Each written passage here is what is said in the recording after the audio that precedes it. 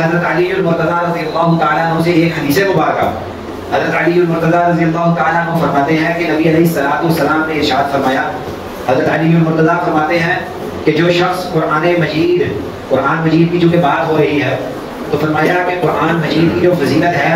اس کی فضیلت کے اندر ذرا سوچیں کہ فرمایا کہ جو شخص قرآن مجید نماز کے اندر پڑھتا ہے، تو اس کو ہر حرف کے بدلے پچاس نکیاں اللہ رب الجلال عطا فرماتے ہیں۔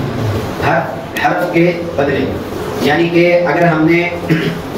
سورت شروع کی ہے، الحمدللہ، اب الحمدللہ کے اندر کتنے حروف آگے؟ الف، لام، حا، میم، دال، پھر الف، پھر دو لام، پھر ہا کتنے حرف آگے؟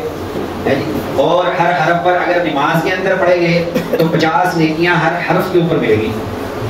ہر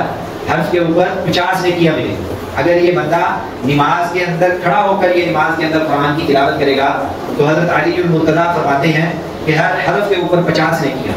اگر یہی قرآن بیٹھ کر نماز کے اندر پڑھے گا، تو اس کو ہر حرف کے اوپر پچیس نیکیاں اللہ رب الجلال عطا فرمائیں اور پھر فرمایا کہ یہ تو نمازیوں کی بات ہے نا